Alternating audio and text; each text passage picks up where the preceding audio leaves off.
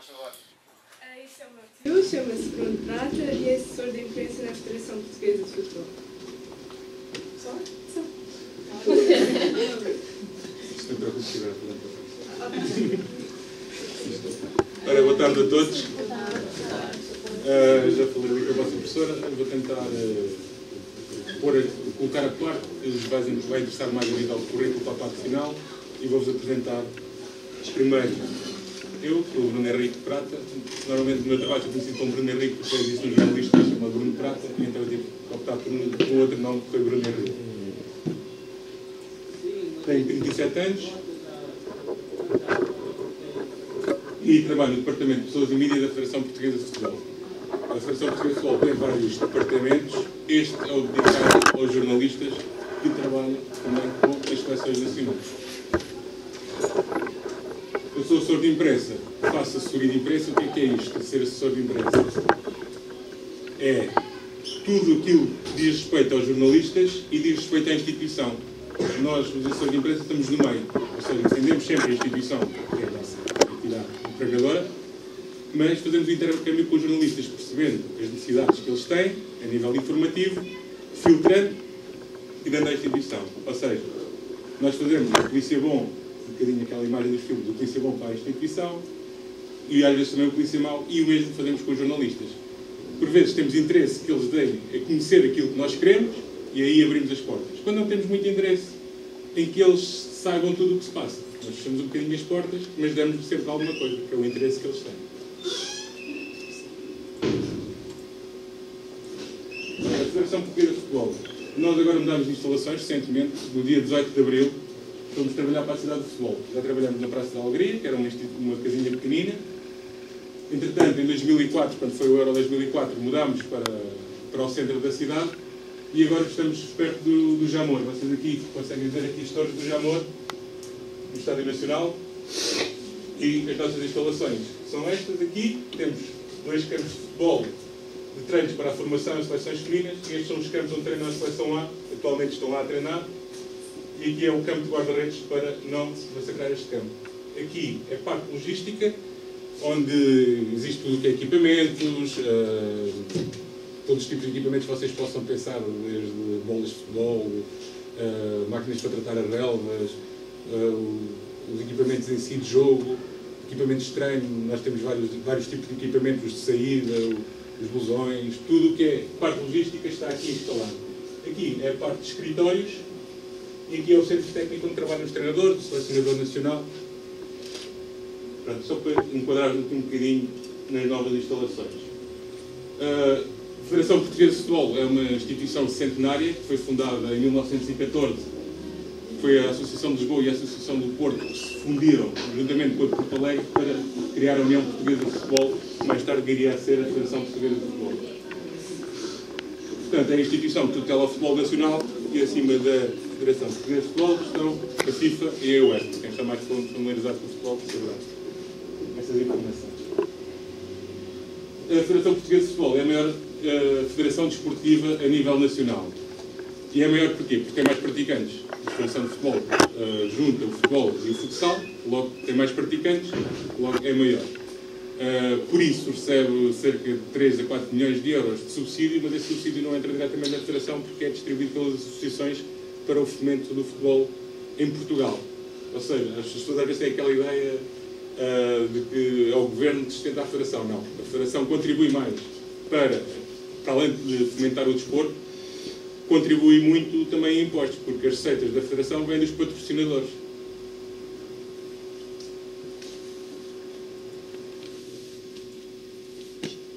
Seleções nacionais, temos 25 22 em permanência. As pessoas conhecem a seleção A, conhecem Cristiano Ronaldo, mas é muito mais do que isso. Cristiano Ronaldo começou no Inter Associações Lopes da Silva no Sub-15 e hoje é o que é, mas teve que fazer todo esse percurso. Futebol masculino, temos 9.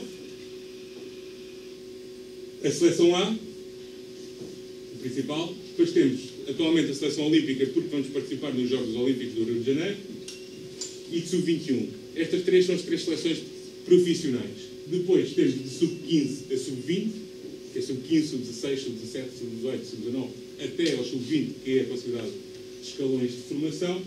E depois temos o torneio interassociações, que alimenta a primeira seleção que é de sub-15. Vocês, a maioria estão nos 14, já sei que alguns jogam futebol, portanto, se derem nas vistas, podem ser chamados pela associação a estes torneios, se derem nas vistas, podem ser chamados à seleção de sub-15 e começar um percurso seleção nacional. Também há futebol feminino para as meninas, que até aos sub-15 é misto, a partir dos sub-16 já não é. E aí começamos a ter as seleções sub-16, que é a formação para o sub-17, que já tem qualificação, e os sub-18, para preparar os sub-19, também tem qualificação. Depois temos a seleção A feminina. Sabem quem é este? O Ricardinho. Portanto, nós temos a sorte de ter os três melhores jogadores do mundo. No futebol, no futebol, no futsal e no futebol de praia. E também temos uma seleção feminina de futsal. Aqui a lógica é mais ou menos a mesma. Começa-se no sub-15, depois temos o sub-17 ao sub-19, a sub-21 e a seleção A. No feminino, temos só as seleções de competição, embora às vezes tínhamos sub-16 para preparar sub-17 e sub-18 para preparar sub-19. Portanto, é que estavam algumas permanentes e outras que não são tão permanentes isso. E temos o futebol de praia masculino e tivemos uma experiência também com a seleção feminina que ganhou um mundialito. Para além disto, a Federação tutela várias competições. São 30. Destas todas que aqui estão, só a Liga Nós, a Ledman Liga Pro, que é a segunda Liga, e a Taça CTT, que é a Taça da Liga, é que são tuteladas pela Liga Profissional. Todas as outras são organizadas pela Federação Portuguesa de Futebol. Ou seja, nós não temos só seleções, temos este, toda esta organização de competições que é preciso promover e fomentar, desde o futebol ao futsal ao futebol de praia, no masculino e no feminino. Ainda não temos um campeonato de futebol de praia feminino. Será o próximo passo. Estou integrado no Departamento de Pessoas e Mídia. Tenho um diretor de departamento, tenho um diretor de informação. Temos um assessor de imprensa que está só vocacionado neste momento para a seleção A e para relações com o UEFA. Foi ele que foi o braço direito do Infantino, foi o, agora eleito o presidente da FIFA. Portanto, ele faz as relações com o UEFA e com a FIFA. E depois temos assessores de imprensa e produtores de conteúdo, é o meu amigo Lu, somos quatro. Temos dois fotógrafos a trabalhar em permanência connosco e temos outros que recorremos quando os nossos dois não chegam, porque temos muitas atividades em simultâneo por vezes. Temos um gestor de redes sociais, o que é que isto é? Sou uma pessoa dedicada ao Facebook, Instagram, uh, YouTube, tudo o que é redes sociais, Twitter. Temos umas relações públicas, porque agora temos a cidade de futebol e é preciso promover iniciativas lá. Ainda hoje temos lá o Dia da Criança, com várias crianças, portanto, faz parte também do nosso departamento. Temos uma editora de vídeos que percebe só imagens e trabalha as imagens para nós colocarmos no YouTube e no, no nosso site.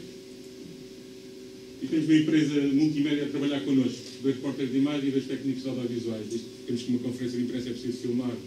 Temos aqui já dois técnicos também a filmar. Uh, e é preciso som, é preciso tudo isso. Temos uma empresa que pode até acrescentar pessoal para ajudar-nos nos nossos vários setores. E temos uma grande proximidade com a divisão de marketing, tem a ver com a promoção dos eventos dos jogos. Quando a gente vai para um jogo, temos várias coisas para fazer e, eu, e esses são os nossos braços direitos.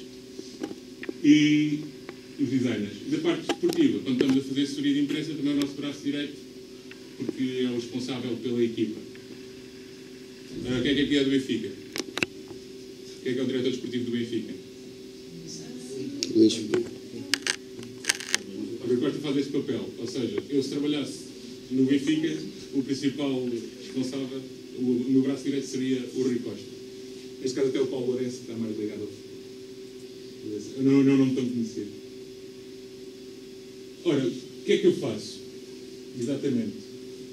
Faço assessoria de imprensa às seleções nacionais, assessoria de imprensa institucional, não estou tão ligado a isto, institucional é o presidente, os diretores, tudo que diz respeito mais com a parte não desportiva.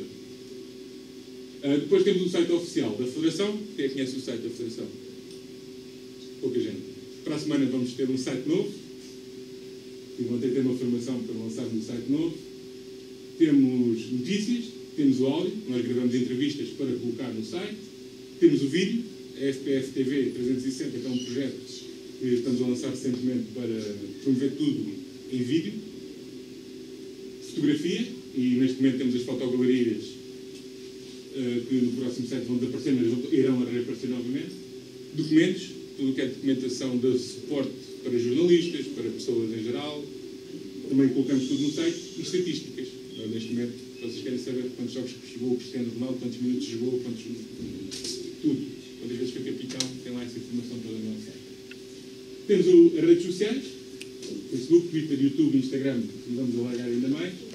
E temos várias publicações. Publicações. Vou falar mais à frente. Temos a FPF 360, que é a revista que sai de dois em dois meses. A 360 mais, quando existe um evento específico, por exemplo, a inauguração da cidade de futebol, fazemos uma revista só para a inauguração. Quando temos a final da taça, por vezes também fazemos só uma para a final da taça, quando é o jogo da supertaça também. Temos matchbooks. Os matchbooks são é o programa de jogo. Vocês vão ao jogo, entregam-nos o programa de jogo. E os dossiês de imprensa mais vocacionado para informações para os jornalistas. Eles às vezes estão a falar coisas muito bonitas, somos nós que damos a tapinha feita para eles, para eles lerem e brilharem na televisão. A organização de jogos implica também uma multi... Somos um bocadinho multifunções quando estamos a organizar jogos, mas já explico mais à frente. E depois temos a informação externa, que é aquela que sai para fora, que a Federação comunica para fora, e interna. Comunicamos só internamente para poder responder a algumas necessidades. A Federação, como vocês sabem, é uma instituição muito grande, muitas vezes somos atacados e é preciso saber toda a informação para nos podermos defender. Isto aqui é só para vocês perceberem um bocadinho a dinâmica das seleções nacionais, quando estamos a fazer subir de imprensa. Existe um diretor, depois existe a equipa técnica, podem ser três, quatro, depende. Temos um técnico de audiovisuais, em permanência, que pode fazer também de videoanalista, que ajuda a equipa técnica. Temos um team manager, um assessor de imprensa, um técnico de audiovisuais para fazer filmagens, muitas vezes dão-nos apoio para fazer as entrevistas, um médico, um enfermeiro, um fisioterapeuta, dois técnicos de equipamentos, porque é muita gente para, para tratar dos equipamentos, e quando vamos para o exterior, uh, temos um chefe de cozinha para que a malta não estranhe os sabores, a comida, para que não haja intoxicações. Esta foi a comitiva do Arcoso Sub-21 em 2015. Portanto, isto para vocês terem uma, ideia, também falo aqui um bocadinho do meu percurso. Eu comecei também em 2004, com o Euro 2004. Portanto, vocês veem ali que aquele de azul é tudo a malta que dá apoio aos jogadores, tanto aos como aos jogadores. Esta, esta, esta foi a minha segunda, a segunda vez que eu participei numa seleção, na, portanto, no Euro 2004, depois foi a seleção de sub-21, a qual eu estou mais dedicado. Já estavam, tínhamos ali o Quaresma, o João Moutinho, o Raul Meireles, ainda eram todos sub-21, todos 29. Isto já é no Euro 2012. Portanto, temos aqui o Cristiano Ronaldo aqui. É pena que não tenha muita descrição, mas ele está por aqui muito novinho, outra vez. É, está o Adorita. Aqui o Cristiano Ronaldo aqui muito novo e ele já até mais velho. E esta foi a última campanha que nós participámos, fomos vice-campeões da Europa de Sub-21, também uma comitiva grande. Portanto, estas duas comitivas são da seleção A, portanto, tem mais gente, aquela ali ligeiramente mais reduzida, que é de Sub-21, depois, à medida que vamos descendo, as comitivas não vão ficando reduzidas, mas não foge muito àquilo. Por exemplo, muito pouca conferência de imprensa, e esta foi recente, foi no, no novo auditório da Casa das Seleções, portanto nós temos cada vez mais câmaras de televisão a acompanhar-nos, ali estão umas 20 câmaras a acompanhar-nos, uh, portanto é preciso espaço, é preciso que eles sejam bem acomodados, é preciso que nada falha, é preciso ligar o cabo exterior, é preciso dar entrada do cabo exterior, é preciso dar um papelinho a toda a gente para eles andarem todos acreditados, acho que tem aqui. Não sei se tem trazer, se. Não, não portanto, é um pouco que eles andam pendurados. Somos nós que tratamos disso, eles escrevem, nós temos que tirar fotografias, temos que tratar disso tudo, para quando eles entrarem lá estarem identificados. Depois temos a conferência de imprensa em si, neste caso João Moutinho com, o Anof, que é o assessor de imprensa da seleção A. O que é que o Anof faz? Dá a palavra aos jornalistas, está sentado na mesa, levanta o braço, não dá ordem para a pessoa perguntar, para as pessoas se identificarem, para a gente saber quem ele é, e depois o jogador vai responder. Aqui o assessor de imprensa já fez o trabalho de casa, já preparou o jogador, para as questões que podem ser difíceis, porque é as questões do momento. O João Matinho, quais é que são as perguntas que agora eles vão fazer? Se está de saída, se não está de saída, se é a última oportunidade de ganhar o, uma grande competição. O João Matinho, quando vai lá, já sabe tudo o que vão perguntar. Nossa experiência, já sabemos o que é que vão perguntar. Não há nenhuma pergunta que eu faça porque ele não esteja preparado para responder. E por vezes, às vezes, às vezes temos aquela ideia que o jogador é um bocadinho limitado, nós às vezes aí também temos um papel chato que é limitar, limitar o jogador, que é para não haver muita polémica à volta das seleções.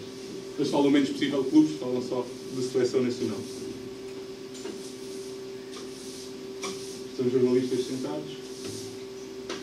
Uh, por exemplo, estou ali, mais uma, aquele, aquele desata ali de azul é o colega das redes sociais. O que é que nós fazemos ali? Temos a certeza que os jornalistas estão ali certinhos, que não saem dali, têm aquele espaço para filmar, podem trabalhar ali. Estes treinos são fechados, 15 minutos para tirar imagens, ao fim dos 15 minutos, tudo dali para fora. Aqui fazemos também o acompanhamento na, dos jogadores, preparamos os jogadores, isto é uma zona, uma zona mista. Zona mista é quando estão os jornalistas de um lado e os jogadores do, do outro e os jogadores atravessam por ali. São bocado controladas por nós, porque fomos sempre 3, 4 jogadores a falar. E estamos ali para quê? Para assegurar, se os jogadores estiverem incomodados, a gente acabar ali com aquilo e tirar dali um pouco. Um bocado censura.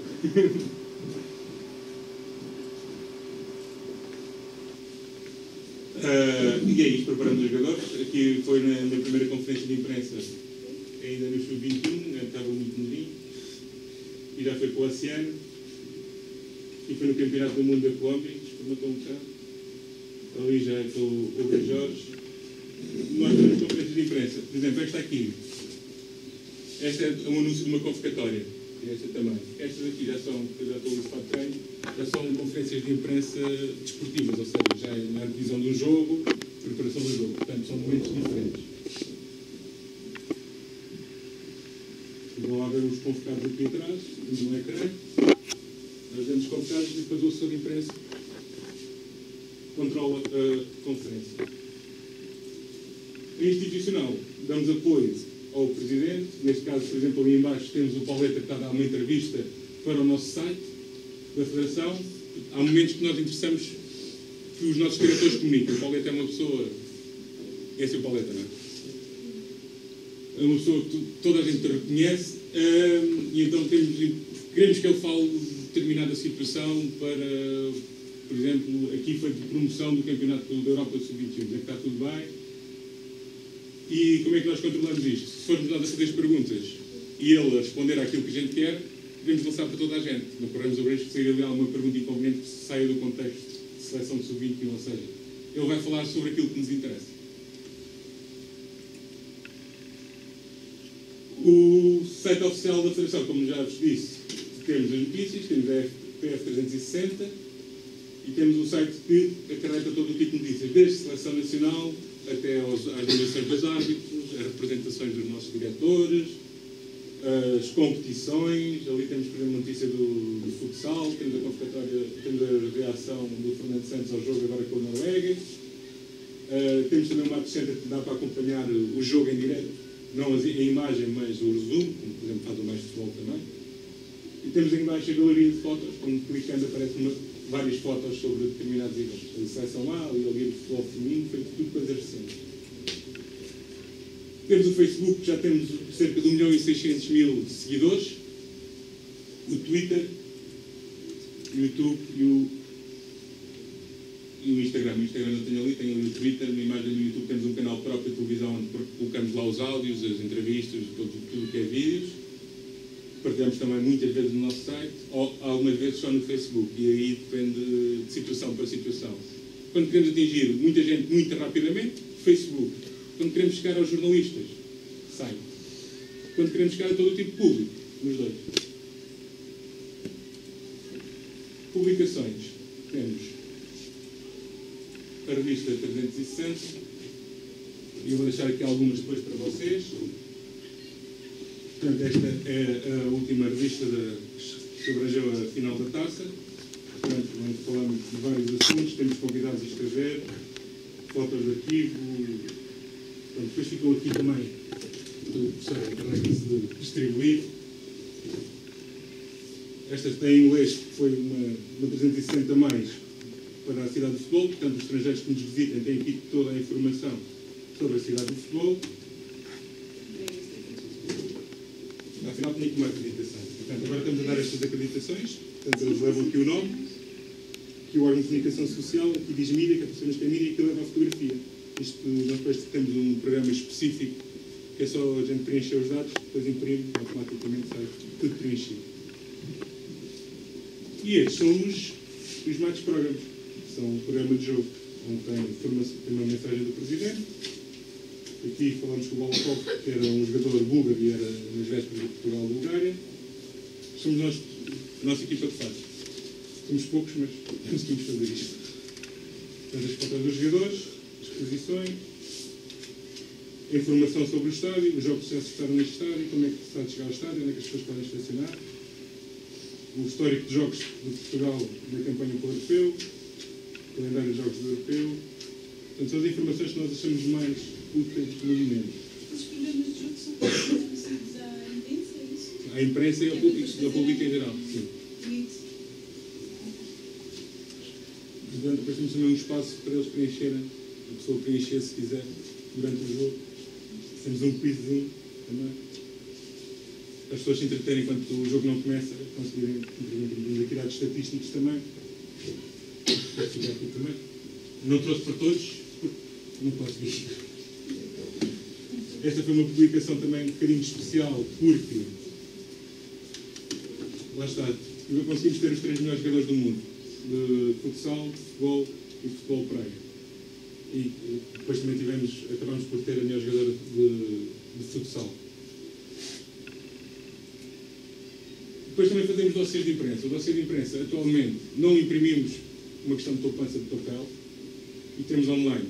Damos o link ao jornalista, às vezes damos cartões ao jornalista e ele vai lá dizer a informação. Isto também porquê? Porque nós atualizamos e não estamos a dar a informação desatualizada. Hoje, hoje está atualizado, amanhã pode não estar.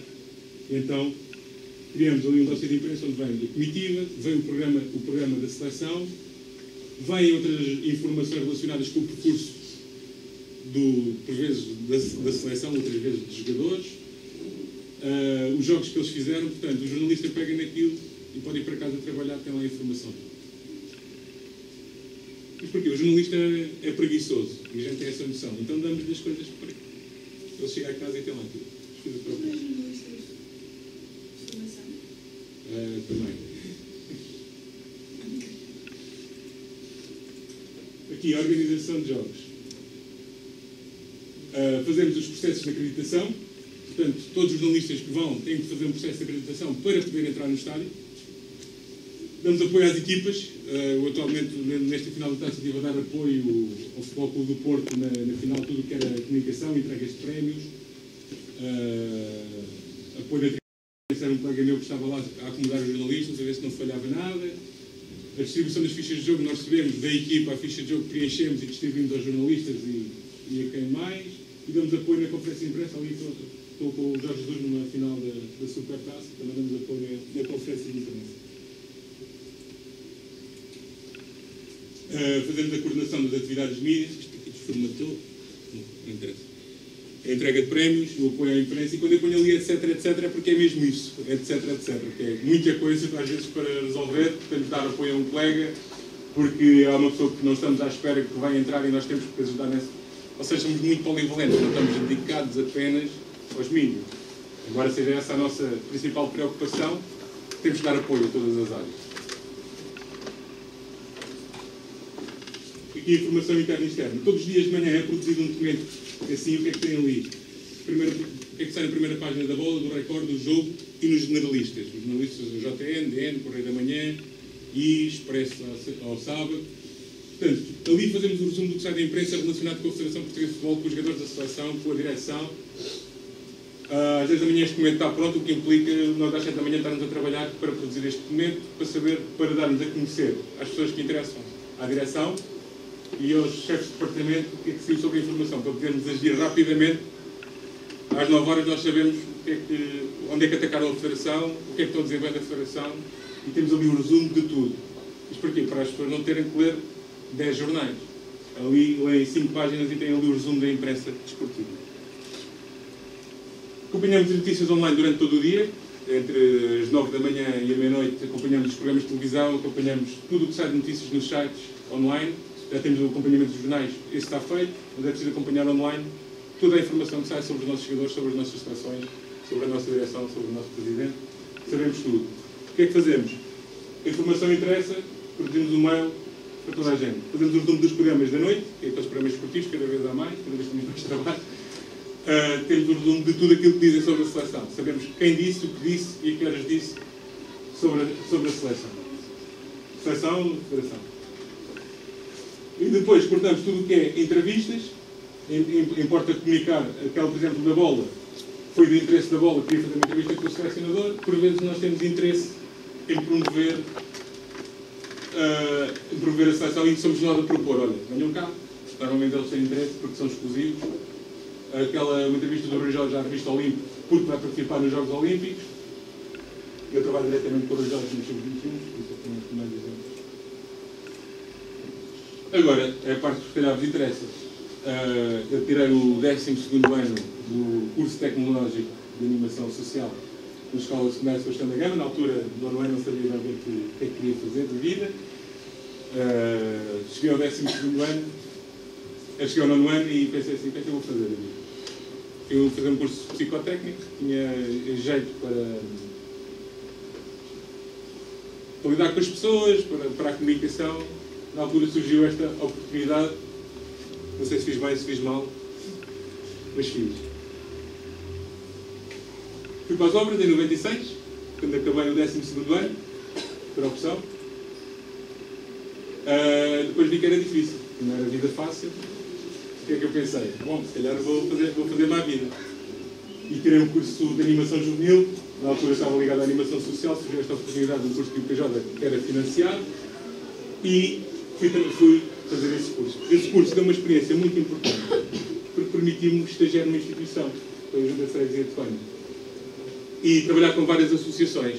Lidar com crianças, trabalhava mais com crianças, mas também lidava com as pessoas mais velhas na coordenação de projetos ligados à, à infância.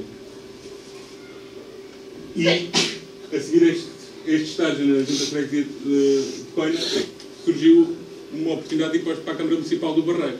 Estágio profissional, remunerado, onde trabalhei com todas as freguesias do Barreiro, todas as instituições do Barreiro, com projetos de animação juvenil. Tive este ano, estive nesta vida e o que é que aconteceu? Pensei em estudar mais.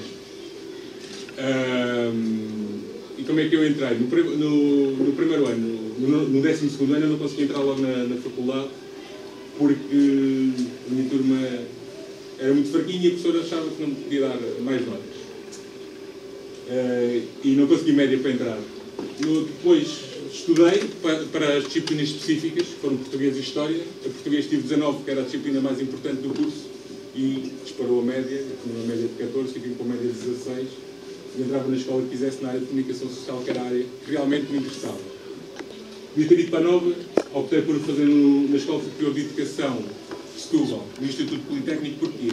Porque eu entendia que era mais importante um curso prático do que propriamente um curso muito teórico. E hoje não me arrependo. Não me arrependo porque eu cheguei a estagiar Uh, ah, entretanto, enquanto andei a estudar, tirei vários cursos, falo só alguns, cá só algumas, tirei vários cursos enquanto fui estudando para aumentar a minha formação, na área de marketing, que era uma área que também uh, gostava, e no curso de comunicação social eu não escolhi jornalismo, escolhi o marketing cultural, porque já estava ligado à, às, às freguesias e às câmaras municipais e pensei que era uma mais-valia para mim. Uh, daí também ter tirado um curso de marketing, tirei mais alguns cursos, e surgiu a experiência de fazer um estágio no grupo semanário, numa revista de internet, e também achei engraçado, aí na experiência de jornalismo também. Ah, no terceiro ano, uh, fiz um, curso no Departamento de Comunicação da Vistion. A Vistion é a Escola Eletrónica, se calhar alguns pais de vocês trabalham lá, ou alguns familiares. Uh, no Departamento de Comunicação. O estágio era de um mês, eu acabei por ficar cinco meses, fui convidado a ficar mais algum tempo, porque, porque mostrava o sentido prático, o dinamismo, e sempre me apliquei para poder mostrar o meu, o meu trabalho e a minha mais-valia. Nunca me acomodei às minhas funções, porque a função do estagiário é um bocadinho aprender. E eu, para além de aprender, tentava pôr mãos à obra, tentar saber como é que se faziam as coisas. E isso foi uma mais-valia para mim. Uh, tive um curso de criação de empresas, numa altura da minha vida pensei em criar uma empresa, mas ainda era muito novo e achei que, que na altura já foi há 13 anos. Uh, tinha 23, 24 anos e, e, foi numa altura que o mercado começou, começou a cair um bocadinho nesta área e optei, e havia muitas empresas de comunicação, havia muito mercado, havia muitas empresas a cair e optei por tirar só o curso. Foi um ano, em simultâneo com a escola, eu trabalhava, na altura eu trabalhava na Câmara Municipal, continuei a trabalhar na Câmara Municipal do Barreiro como colaborador deles. Estava neste curso, calculava o dia todo e, nos intervalos ia à escola para acabar o quinto ano e achei que era mais importante acabar, acabar o curso. Entretanto, no quinto ano também arranjei outro trabalho no, no Centro Social do Laranjeiro. Ou seja, não tinha tempo para nada. Praticamente estudava, trabalhava, estudava, trabalhava mas foi muito importante, porque em 2003 vou estagiar para a Federação Portuguesa de Futebol. Estagiei durante dois meses e meio, uh, depois saí, arranjei tra uh, trabalho na Escola Superior Egas Muniz como secretariado, não gostei. Uh, queriam que eu lá ficasse, mas eu não gostava do trabalho, optei, optei por sair e sou convidado em 2004 para voltar à Federação Portuguesa de Futebol. Porquê? Porque não gostava do meu trabalho, porque me tinha empenhado, tinha mostrado serviço e fui convidado então um, a voltar à Federação para um departamento diferente. Eu estava no, no curso, estava na, na, área do marketing, de comunicação e imagem, mas mais ligado ao marketing. Às tantas sou convidado para a parte da comunicação, assessoria de imprensa da seleção A. Portanto, às vezes é agarrar a oportunidade, estar no sítio certo à hora certa, um bocadinho de sorte também, mas quando se tem essa oportunidade, agarrá-la com as duas mãos. Aconteceu um episódio engraçado. Uh, estava, fui convidado para ir fazer o torneio da Madeira, sub-20, e aparece lá o Scolari, que na altura era selecionador nacional. E eu, desexperiente, 24 anos, nunca tinha feito aquilo, consegui fazer uma conferência de imprensa e o Scolari gostou muito e acaba por me convidar para ir integrar a equipa dele na seleção A. Portanto, foi estar na altura certa, no momento certo e agarrar a oportunidade. Portanto, estou lá desde 2004 e nunca mais de lá. A Escola Superior de Educação de Setúbal é, faz parte do Politécnico, são três, eram três escolas na altura, agora também já aqui uma no Barreiro e talvez já outra outro lado qualquer. Acho que são cinco escolas. Há de saúde, a de saúde. Tem de saúde também. Portanto, é relativamente perto daqui e eu acho que vocês devem também informar-se das escolas que existem quando chegar à altura e vocês têm, têm que estudar. Porque isto hoje em dia sem estudos meus amigos. Aqueles estágios que eles estavam eram integrados na, na... Três estágios. O primeiro, o da Playnet, era do grupo semanário, que entretanto fechou. Foi integrado no primeiro, no primeiro ano. No primeiro ano. Só que eu tive... gente, Sim. Vamos fazer, tendo... Era 15 dias, sim. Era, o salário era 15 dias. Acabei por ficar um mês, porque gostaram do meu trabalho, convidaram para ir ficando, bastante já não dava, já não era compatível. O de Vistion era um mês, acabei por ficar seis meses. E da federação era três meses, acabei por ficar até, hoje. Mas era sempre integrado no, no curso. E muitos colegas meus aproveitaram a oportunidade. E já, já vou falar aqui mais à frente disso também. Acho que é isso. Ah, não, isto é a minha experiência. Em 2003 ainda era estagiário. Fui campeão da Europa com o Sub-17. Depois estive na Seleção A em 2004, com o Sub-21 em Portugal, em Sub-21 na Holanda, o Sub-20 no Canadá, isto não correram muito bem. Sub-19 em França qualificámos para o Mundial, fomos à final do Campeonato do Mundo. Na Polónia e Ucrânia chegamos às meias finais. No Sub-20 da Turquia fomos aos oitavos final e agora fomos novamente à final da República Checa e agora vou estar nos Jogos Olímpicos do, do Brasil com a qualificação que fizemos no Sub-21.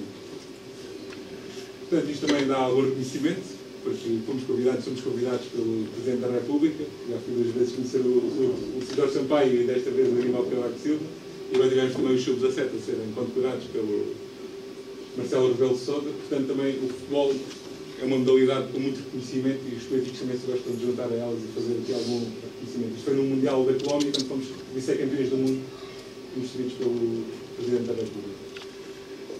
Uh, ex-colegas, vamos falar também um bocadinho dos meus ex-colegas, que isto não é só para falar sobre mim. Ele lá em cima é o Paulo, Paulo Jardim, eh, ele é madeirense. Era muito esperto, um bocadinho balde e tal, mas conseguiu. Hoje é o pivô principal da, da RTP Madeira. Este meu colega, o, o João, o João Ribeiro, é o, o chefe da Diesel, uma empresa de publicidade, portanto seguiu a variante do marketing. E hoje é um dos rostos mais conhecidos dos meandros. Não é conhecido para fora, mas é conhecido no meio. É um dos rostos mais conhecidos.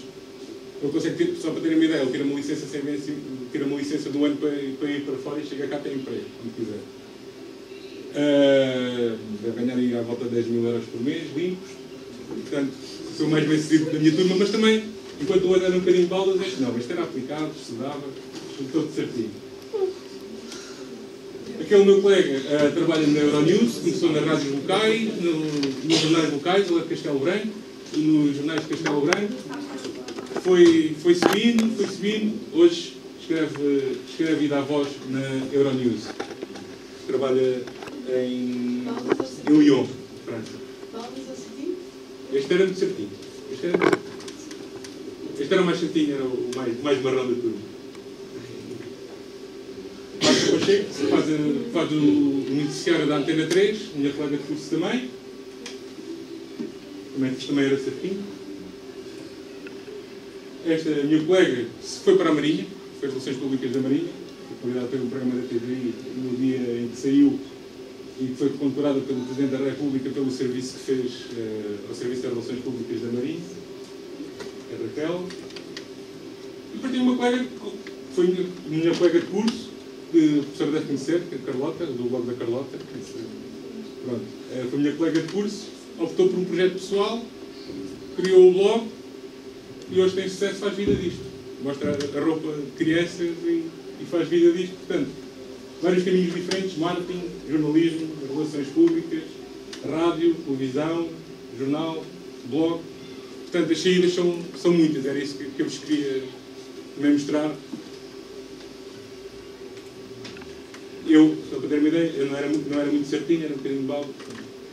Aplicava-me aplicava quando era para trabalhar, aplicava-me muito. E, e, e, acho que foi isso que foi a mais-valia para mim. Obrigado pela vossa atenção.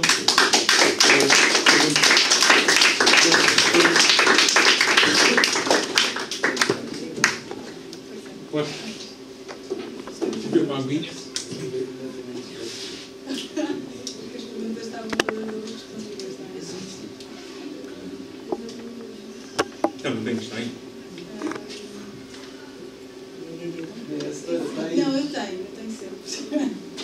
Como é que é o seu dia a dia? O meu Hoje é um dia dia diferente, certo? Porque veio aqui à escola e costumo fazer este tipo de visitas. Não, foi a primeira vez, bem, a minha sobrinha convidou-me. Ah, e, e também não faço, apesar de já ter tido alguns convites, porque isto é uma sala pequena, é, é, é em sala de aula. Nós normalmente temos que pedir autorização para mostrar este tipo de situação, portanto, é dias que têm acesso a nesta informação, requer autorizações vindas do Presidente para este tipo de formação, nós temos que justificar muito bem, eu às vezes passo por cima disso e, e prefiro não fazer. O nosso dia a dia, o nosso dia a dia é muito diferente todos os dias. Porquê? Porque um dia estamos de manhã a fazer aqueles recortes de imprensa e a atualizar o site, no outro dia estamos a fazer uma, uma revista, no outro dia estamos a criar um dossiê de imprensa para uma determinada ação. Quando estamos em estágio, calhar esta parte que interessa eh, mais aos alunos, quando estamos em estágio temos que cumprir os horários das refeições, levantamos de manhã, pequeno almoço, estamos ali com a, equipa, depois fazemos o treino, temos contatos com a comunicação social, já, já os avisamos, a comunicação social vai lá, nós montamos um painel de publicidade atrás, o jogador fala à imprensa, o jogador já vai preparado para as questões difíceis, o que é que pode responder, o que é que não pode responder, porque eles vão perguntar, o que é que eles não vão perguntar. O que é que nos interessa quando eles não perguntam o que ele diga na mesma? O apelo ao público, nós arranjamos sempre maneira dele meter lá o apelo ao público, se ele não perguntar, eu dou-lhe um toque e ele começa a falar sobre isso. Por aqui temos os estádios cheios, a seleção A não é um grande problema atualmente, mas nas outras seleções tentamos sempre levar as pessoas. As pessoas. Uh, preparamos as conferências de imprensa, depois da conferência de imprensa colocamos a notícia no site, mandamos para o, o gestor, o gestor de, de, redes sociais para ele pôr no Facebook, pedimos fotografias, trabalhamos fotografia, trabalhamos vídeo, editamos áudio, portanto, fazemos um... Não há propriamente uma rotina. Não. Uh, o trabalho mais rotineiro acaba por ser quando não existem muitas seleções em atividade. Quando há seleções em atividade e nós não acompanhamos, telefonamos sempre com o team manager, para falar com o, com o treinador, para falar com o jogador. Uh, e a alimentação do site aí acaba por ser um bocadinho mais rotineiro. Mas hoje sai uma notícia sobre arbitragem, amanhã sai uma notícia sobre seleções. Uh, o nosso fluxo noticioso, quando é assim maior, temos cerca de 20 e tal notícias por dia. Mais curto, que é o mais normal, são 6, 7 um, acontece muitas vezes estamos folgas porque trabalhamos também aos fins de semana e depois é preciso folgar. Portanto, muitas vezes estamos sozinhos no escritório, quando estamos sozinhos no escritório com reuniões, com preparações de jogos. Nós, por exemplo, para um jogo, agora para o. Imaginemos Estádio da Luz, o jogo agora com o Estónia. Para esse jogo já começamos a ter reuniões há três meses. Uh, porquê? Porque uma série de meios que é preciso preparar, desde a sala de imprensa, ter a sala de imprensa disponível, o que é que vai fazer a administração da sala de imprensa, abrir processos de acreditação para os jornalistas terem tempo de pedir a acreditação, produzir as acreditações, uh, preparar a logística a nível do catering, porque nós na seleção A oferecemos catering, comida, águas, pratos quentes, pratos frios, oferecemos tudo isso, e é preciso ter tudo preparado para esse jogo. Uh, a nível da circulação de jornalistas, como é que é feita, se eles entram por uma porta, se entram por outra, se têm contacto com o balneário, se não têm, onde é que fazemos a zona mista, que é quando o jogador sai do balneário para o autocarro para falar com os jornalistas, onde é que vamos fazer isso. A nível do marketing, saber onde é que vão montar as páginas de publicidade em coordenação connosco, nós queremos aqui, eles têm que montar aquilo naquele determinado sítio. Um, portanto, não há uma rotina muito grande, é preciso fazer uma visita técnica, vai um, depois no outro dia não pode ir o mesmo, seria o conveniente, já tem que ir ao outro. Agora estamos também a preparar um jogo do. Isto é um bocadinho off the record. uh, um jogo de velhas glórias entre Sporting e Benfica no Estádio Nacional, dos jogadores antigos. Portanto, eu não vou estar envolvido naquilo porque vou estar nos Jogos Olímpicos, mas fui a as primeiras reuniões de preparação, agora tenho que passar a informação para outros colegas. Temos algumas formações, agora também por causa do site, eu, portanto, falou ontem tive de estar lá por causa de uma reunião, depois preciso tratar das acreditações para os jornalistas que iam assistir ao treino de seleção lá. Depois vemos se a sala está ok para os jornalistas, fazemos o recolhimento para, para jornalistas, esclarecimento. Quando o telefone toca, atendemos o telefone e temos que esclarecer sobre, que é, por exemplo, quando é que é o treino da seleção, e vezes temos informação no site e a gente já está sem paciência, vamos, vamos sair. Nunca aconteceu assim um disparate muito grande? parece ser muito pormenor para ser disparados. Disparates grandes. A gente às vezes faz um disparate, só que as pessoas não notam. Ah. A gente às vezes faz alguns disparates, uh, fazemos, fazemos. Principalmente quando, por exemplo, alguém está sozinho no site. Acaba sempre por ser lá algum disparate.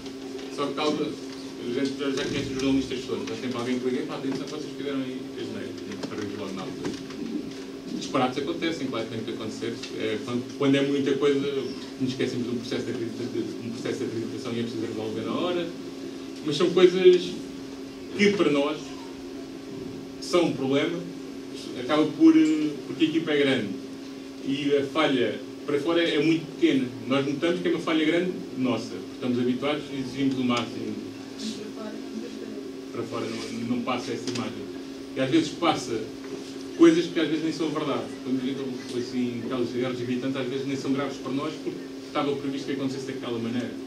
Por exemplo, os jogos, os jogos no Estádio Nacional. Tu dá sempre aquela ideia de confusão. Este ano não aconteceu porque, porque a gente proibiu a colocação de câmaras em estrados. Ou seja, um plano fechado numa câmara, basta estarem três pessoas ou em forrão, parece confusão. Se a gente evitar que essa imagem apareça, corre tudo bem. E muitas vezes é aquilo, a imagem, a imagem é muito importante para nós. Exemplo, nós temos um estádio vazio, mas temos lá, temos certas plateias. Se quiser fazer um plano de muita gente, faz uma fotografia, corta e a sala está cheia. Se fizer um plano aberto, é uma sala com estes alunos que aqui estão, quase vazia porque está ali aquele espaço vazio. E há um bocadinho também essa manipulação que temos que trabalhar, porque faz parte também da imagem que nós queremos passar. Isto é um bocadinho. Querem? Eu já sabem que eu exatamente sempre. Ah, bem. Essa é mais uma. Eu acho que se calhar estava desatenta e não, não apanhei. No outro ano estava um bocado confuso com o Sim. E qual das áreas é que foi? Já não me Foi, o curso de animação, de animação ah, de animação social. Ah, e pediu equivalência ao décimo segundo, então, é isso? Não, era um curso, era, tec- era tecnológico, mas portanto, era, não era a área de ensino, existe aquele... Eles sabem melhor do. Não, não é técnico profissional, era eu tirei na, na escola secundária depois também técnico comercial. Ahm, mas era para a vari- variante mais prática. Portanto, existe o agrupamento A, B e C, não é? Depois, Agora já não. ah, Mas eu entendo o que está a dizer. Ah, e quando cheguei ao nono ano, estava um bocadinho perdido, não sabia o que é que havia de fazer.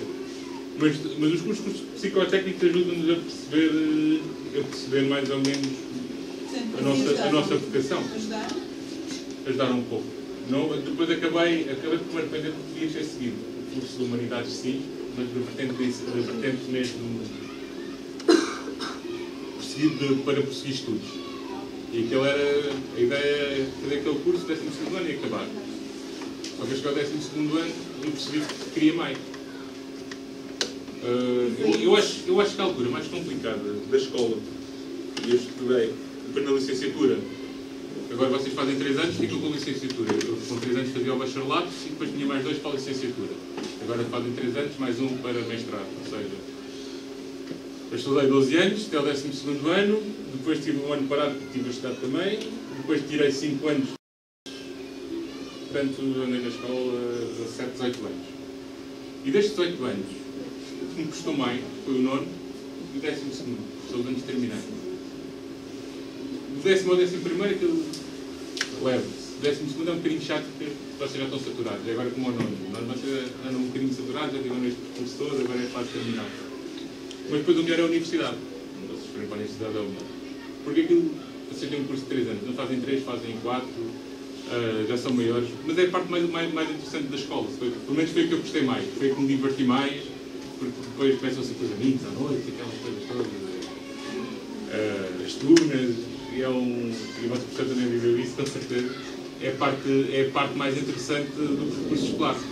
Por isso é que eu acho vocês, a vo- a vossa única obrigação é estudar. Não tem mais obrigação nenhuma neste momento. Eu acho que têm que aproveitar esse momento de estarem dedicados à escola, porque acabando o, o nono, ano, como, viram, tinha ali vários colegas, alguns eram de matemática e foram para a comunicação social, outros na comunicação social e vão para a matemática. Ainda há tempo para depois decidir as coisas. Pá, vocês não podem, não gostam daquele curso, mudam de curso, não há problema nenhum. Mas depois, no décimo segundo, e aí vocês já, já vão ser maiores e já vão ter, eh, perceber melhor o que é o que querem. Aí então escolher ali aquele curso, mas mesmo assim, nessa altura, pá, não é isto. Vão fazer engenharia, pá, não gosto de engenharia, não tenho paciência para isto. Vão outro curso de outra área. E têm tempo para decidir isso. Agora, o importante é, enquanto vocês andam aqui, gostem ou não gostem, irem passando de ano. Essa é a mensagem que eu tenho que passar à minha sobrinha, que ela ainda não percebeu bem. Ahm, mas o mais, o, mais, o mais importante, eu acho, e, e aí é que eu gostava que vocês tivessem, tivessem alguma dúvida, porque, por exemplo, o malta que está, está no. Um, gosta de jogar a bola e está no desporto. Ah, chegam um curso de desporto. Vão para desporto. Chegam ao 12 ano. Epá, afinal não é isto. Há outras áreas para seguir. Há outras áreas para seguir. E vão para desporto. Querem ser professor de educação física, mas depois, a determinada altura do vosso percurso, vem. Epá, não gosto de ser professor de educação física, mas têm outras áreas para seguir. E hoje em dia, quem não tem o 12 ano, e eu vejo, mostrei ali os casos de sucesso dos meus colegas. Há alguns casos, há colegas meus que são, trabalham em bancos, mas trabalham em bancos porque tiraram um curso superior de comunicação social. Se não tivessem curso de comunicação social, não podiam estar a receber dinheiro atrás do banco. Porquê? E os vossos, os vossos pais ainda são de uma geração que ainda conseguiu trabalho, a, vossa, a minha geração ainda conseguiu alguma coisa, agora a vossa vai ser muito mais complicada. Porque a maioria dos vossos colegas vão, da vossa idade vão ter cursos superiores. Vocês vão competir com quem? Competem, se não tiverem o 12 ano, se não tiverem um curso superior, não competem com ninguém. Vão fazer os trabalhos que mais ninguém quer fazer. É isso. Essa era, era essa a principal mensagem. É assim, vocês olham, olham para mim, ah, e tal, é um emprego fixe e tal. Eu não ganho muito dinheiro, só que consigo ter um emprego, consigo ter uma vida estável, porque estudei, porque me esforcei nas alturas que me devia esforçar, eu nunca chumbei nenhum ano, e cumpri sempre os prazos, as metas. Tive um ano parado que me fez muito bem, e me diga, pá, vocês têm que seguir tudo certinho. Pá, não. tempo para tudo, há tempo para brincar, há tempo para estudar, há tempo para tudo. Uma coisa que eu tinha, eu não estudava muito, eu queria estudar muito. Só que nas aulas estava sempre com atenção. Eu não precisava de estudar, eu sabia o que é que, é que a matéria toda, estava com atenção nas aulas. Não precisava de estudar, só estava com atenção nas aulas. O professor me dizia o que é que ia assim nos testes. Se, se eu sabia, se tivesse dúvidas, perguntava ao professor. E foi assim. O meu percurso foi todo assim. Eu lembro-me, até o 12 ano estudei duas vezes com um teste. Nunca precisei de estudar. Ah, és mais inteligente, não sou mais inteligente que ninguém. Estava, estava atento. Se não estiver com atenção, aprende. Básico. Isto é, isto é, se vocês estiverem com atenção, entra lá alguma coisa, de certeza. Não é preciso muito mais que isso. Na faculdade, uh, no primeiro ano, era uma questão de adaptação, uma questão de, adaptação aos colegas, ia para a noite, divertia-me com eles. Mas quando era para estar nas aulas, estava nas aulas, a gente chegava a fazer noitadas, estávamos às 8 da manhã nas aulas, mas estávamos lá, ouvíamos o professor, o professor tinha para dizer. Depois para estudar era, era residual. Tínhamos de estudar alguma coisa, muito residual. Uh, estudávamos algumas coisitas para ter memória das coisas, porque é o essencial. Agora, se estão desatentos na sala de aula, não estudam, não é essa tempo. Estão a ficar preocupados que têm aula às duas. Eu falo Peço desculpa por ter alongado mais. Falo com vocês de matemática, vamos ficar meia hora atrasados. 5, 10 minutos sem minha. Calmar. Não tem questão. Vamos agradecer.